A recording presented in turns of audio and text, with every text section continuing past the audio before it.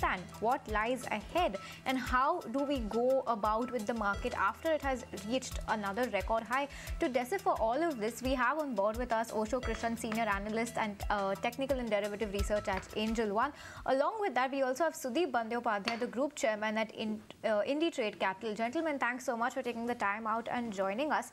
And uh, let me come to you first. Help us understand what uh, next, right, for the markets because uh, after uh, touching this record high, now the, the question that naturally pops up into all investors' mind is what next? Where do we go ahead? Two phases of elections are still left. And do you think the street has digested that volatility? Do you expect more to come as and when the election result uh, or the outcome comes on the 4th of June?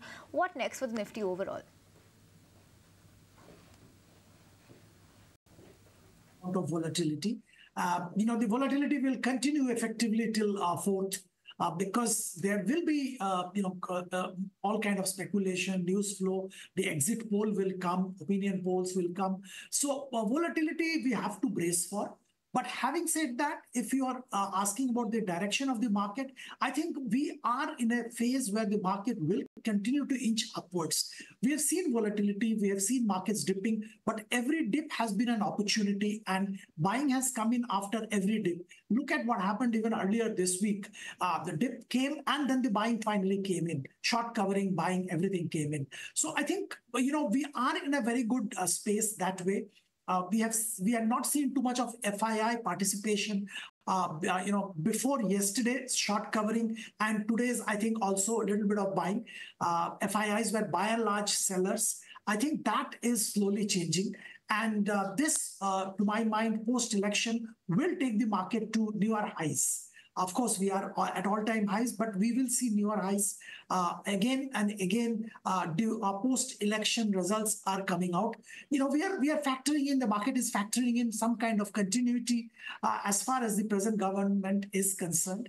And under the circumstances, the policies, the, the, the by and large, the economic scenario is expected to continue in the same direction, and the market likes it. And pretty much that's the reason why market is giving it a thumbs up.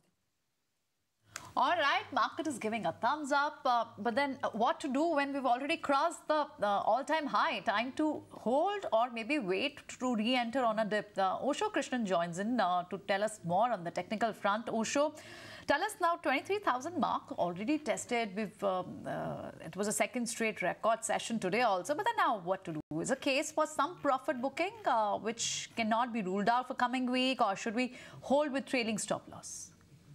See, overall, if you will be seeing the technical development in Nifty, then Nifty is uh, moving in a rising channel pattern, and currently it is hovering just near the higher band of the consolidation. So I'm expecting a higher band of the uh, channel. So I'm expecting that in the coming period there can be some kind of consolidation that can be seen near the zone of 23,080 spot levels towards 23,160.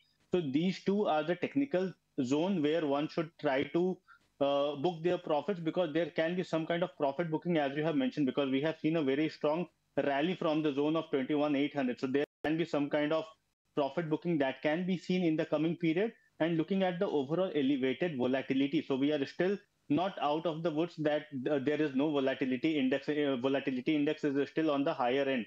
So there can be some kind of strong uh, movement that can be seen in the near period, but undertone remains bullish one should better to utilize dips uh, to accumulate long positions and one should even uh, try to book their profits once they are getting a decent profit for a, short term per perspective. But overall trend is very positive. If i have to say the uh, positional move then 22800 have seen a very decent writing from the put writers and 23200 has seen a decent writing from the call writers. So this is the immediate range that one can expect the market to hover in between and 22800 should be acting as a support and one should try to book their profits around 23200 in the coming week.